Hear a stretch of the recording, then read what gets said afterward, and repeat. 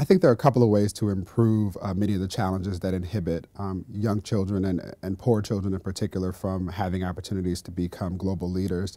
Um, one is to find mentors who have the experiences that you and I have, um, who have been able to take advantage of, of language development and, and opportunities to travel and build relationships uh, across the world um, and find ways to tell these children about those opportunities.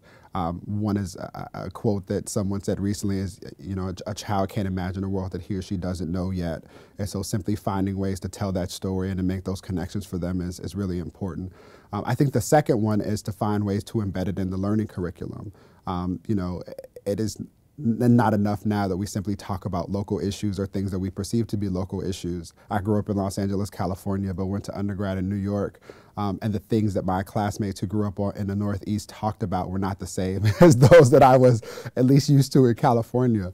Um, I often joke now that, you know, it, it was through reading and through exposure that I even understood what the tundra was, having, again, grown up in Los Angeles, California, a place that we don't see a whole lot of snow. Um, and so finding ways to embed those types of learning opportunities and experiences um, is critically important. And then the last one um, that I would mention now is, is, is, is something that um, is not frequently talked about, but that I sort of appreciate from my childhood, and it's having pen pals. It's having opportunities for young people to exchange ideas with one another, um, regardless of where they come from or what they're interested in. I uh, remember uh, and think about this often now as an adult, um, having a pen pal in New York City and having another in Shanghai and sort of being able to talk about what their worlds were at that time and sort of imagine what they were going through uh, was foundational for me. It was something that I, I, I now find myself drawing upon as an adult.